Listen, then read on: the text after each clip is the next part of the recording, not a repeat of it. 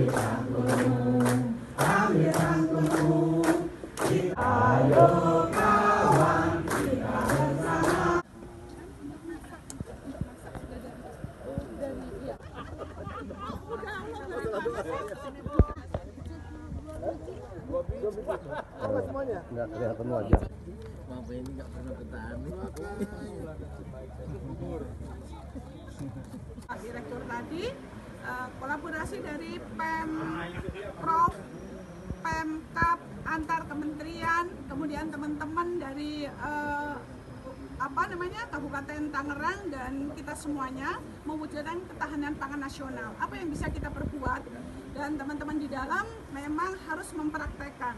Mereka sudah dibina kepribadiannya, mendapatkan pembinaan kemandirian, kemudian harus menghasilkan produk, barang maupun jasa.